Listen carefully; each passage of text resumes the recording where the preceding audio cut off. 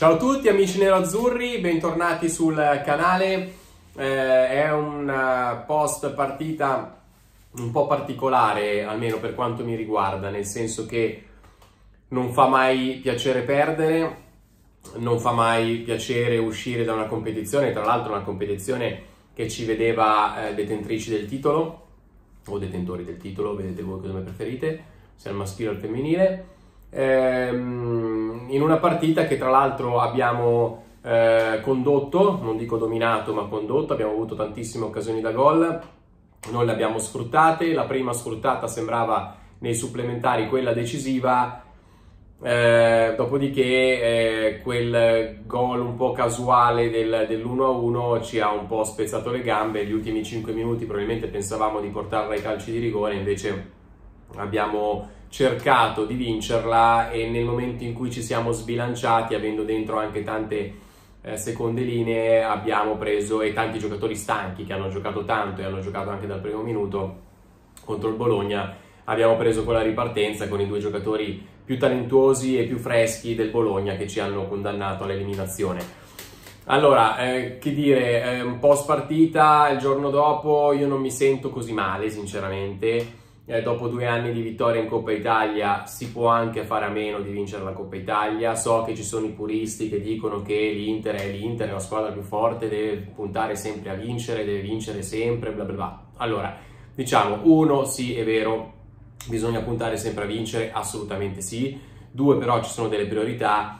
Tre, adesso ne parliamo. Tre, eh, diciamo che eh, dopo due anni di vittoria in Coppa Italia forse è meglio non vincerla, se proprio non la si deve vincere, forse è meglio non vincerla negli ottavi di finale perdendo col Bologna in quella maniera lì, piuttosto che magari non vincerla giocando altre tre partite con la semifinale che è andata e ritorno e sprecare tante energie in vista degli impegni che sono più importanti per noi quest'anno, che hanno la priorità ovviamente in primis il campionato, la Champions League e perché no anche la Supercoppa italiana che porta anche tanti soldi in cassa perché chi vince la Supercoppa italiana a gennaio prende 7 milioni di euro e non fa assolutamente schifo.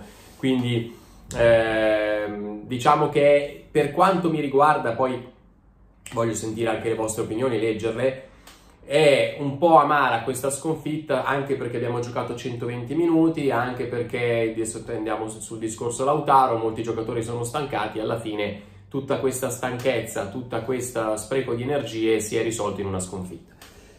Detto questo, io riesco, riesco, a vedere il lato molto positivo della cosa. Abbiamo vinto gli ultimi due Coppa Italia, non credo che l'obiettivo di quest'anno fosse... Fo- sì, è, l'obiettivo è sempre vincere, va benissimo, questo è assodato, però non credo che l'obiettivo principale di quest'anno, comunque l'obiettivo a cui non si potesse rinunciare, fosse eh, vincere la terza Coppa Italia di fila. Cioè, certo, poi se la vinci va benissimo, però dopo due di fila non credo che fosse quello l'obiettivo. Anche se abbiamo gestito la partita con il Bologna, Inzaghi e la società, tutti hanno gestito la partita con il Bologna comunque per vincerla, ok? Quindi senza mettere in campo tutte le riserve. E quindi dico, vi dico, la, il mio umore non è negativo, anche perché la partita è stata giocata bene, secondo me. L'Inter ha giocato un'ottima partita e meritava di vincere, contro un Bologna in forma, contro un Bologna che è quarto in classifica, contro un Bologna che ha dei giocatori di tutto rispetto, che è vero, ha fatto turnover, anche Tiago Motta ha fatto turnover, quindi anche Tiago Motta guardava al campionato. E poi comunque si è preso e facciamo anche, ne approfitto anche per fare i complimenti a Tiago Motta, al Bologna, alla società Bologna per i risultati che stanno ottenendo e per la partita vinta e la qualificazione. Ehm, però non la vivo così male. La cosa che secondo me però si poteva evitare era il rischio infortuni. Cioè, anche se avessimo vinto, no? Adesso siamo usciti, quindi oltre al danno la beffa. Ma anche se avessimo vinto, per me era eh, come abbiamo fatto con la Champions, era eh, forse fo- era fondamentale preservare la partita con il Lecce. Quindi tutti i giocatori eh, necessari per il campionato, secondo me, dovevano riposare o comunque riposare parzialmente, non che non dovessero giocare mai, ma giocare non troppo per preservare Lecce e Genoa, che sono le ultime due partite prima del 2024 Quindi io, come nel titolo, vi chiedo e mi chiedo, si poteva evitare quello che poi è successo a Lautaro? Allora, nel momento in cui vi sto parlando, vi sto registrando il video, non so ancora quali saranno gli esiti del, degli esami di Lautaro. Sembrava fino a stamattina che addirittura Lautaro non dovesse fare gli esami perché sembrava che fosse una cosa da niente. No, tutti buttavano acqua sul, acqua sul fuoco, non è niente, non è niente, era solo un affaticamento, non fa neanche gli esami, invece poi viene fuori che Lautaro deve fare gli esami. Ok? Abbiamo già, già tanti giocatori fuori. Pavare è vero che è tornato, ma è appena tornato. Abbiamo fuori De Vrij, abbiamo fuori Dumfries, abbiamo fuori Sanchez, abbiamo fuori per sempre probabilmente Quadrado. Adesso si fa male Lautaro. Io mi dico e mi chiedo, si poteva evitare l'infortunio di Lautaro? Per me sì, per me sì. Ehm, al di là del rigore, non rigore, voglio di segnare, voglio di non segnare, di essere decisivo, lui secondo me è stato decisivo anche ieri, ha giocato una grande partita, poi ha sbagliato il rigore, ci può stare. Può capitare anche perché lui, diciamocelo chiaramente, dal dischetto non è infallibile, lo sappiamo tutti, ha tirato 20 rigori, ne ha sbagliati 7 e sono tanti, eh, 7 su 20 sono tanti, non è un rigorista Lautaro, cioè non ha i numeri da vero rigorista, non può essere perfetto, però va bene, è il secondo rigorista dell'Inter, dopo c'è la Noglu e va benissimo così, può capitare. Ma l'infortunio era la cosa da evitare, cioè non ho capito perché Lautaro è stato in campo 100 minuti prima di farsi male. 100 minuti, un giocatore che gioca sempre, che è fondamentale per questa squadra, 100 minuti.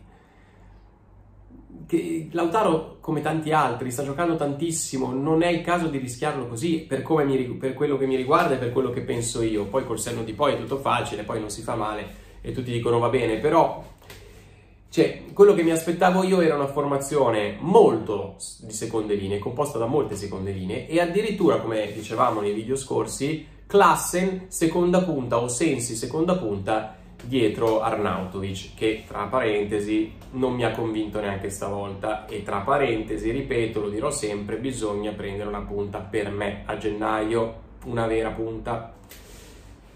Vabbè, e vediamo. Eh, quindi cioè, mi aspettavo un Lautaro che giocasse la mezz'ora finale o il primo tempo, poi magari facendo la, la staffetta con Turam, ma non primo tempo, secondo tempo supplementari.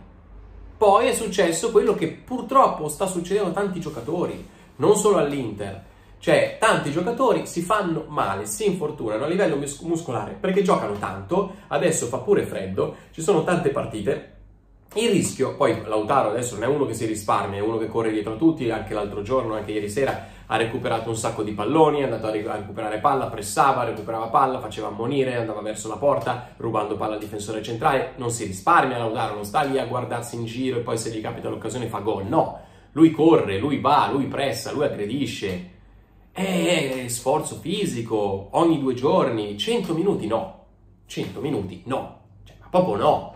Ma se mi avessero detto guarda che Lautaro giocherà 100 minuti prima della partita, io sinceramente avrei riso, non, non avrei mai pensato che potesse essere una cosa vera.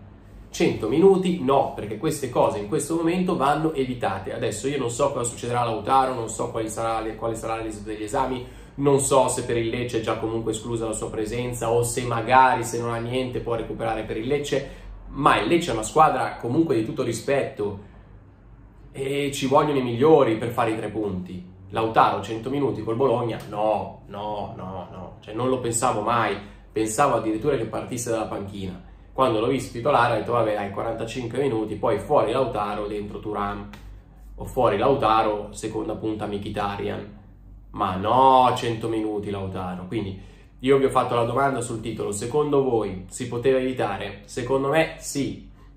Fino adesso abbiamo gestito il turnover nel migliore dei modi, abbiamo A. Inzaghi gestito il, eh, il turnover nel migliore dei modi, questa mossa qua di Lautaro in campo così tanto in una partita di ottavi di finale di Coppa Italia infrasettimanale negli, nei due gradi di San Siro per me era una cosa che non aveva proprio senso di essere non lo dico col senno di poi, avete i video precedenti in cui dico questa cosa, per me è stata una cosa che non si doveva fare, quindi lo chiedo anche a voi.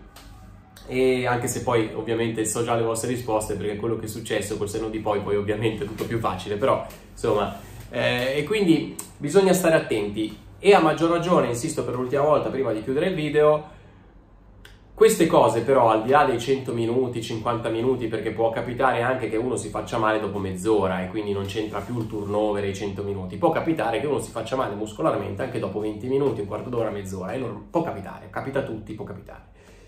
Questo dico, se Lautaro adesso sta fuori un po' di partite, una partita, due partite, non lo so, e chi gioca? Sanchez mm, non si sa cos'ha. Non si sa cos'ha Sanchez, doveva recuperare subito per un affaticamento muscolare, non ha recuperato, è in dubbio pure per il Lecce. Arnautovic non dà garanzie, c'è Turam e quindi solo lui? Eh, ragazzi, a gennaio qua eh, bisogna comprare una punta, ma non una punta a caso, non un, una quinta punta per rimpinguare il reparto, no, bisogna prendere una punta che dia delle garanzie, che arrivi subito dopo Lautaro e Turam e non li faccia rimpiangere come possono fare invece Arnautovic e Sanchez. Quindi va, l'esempio di Lautaro di questo infortunio è, secondo me, calzapennello. Quindi, ripeto la mia teoria.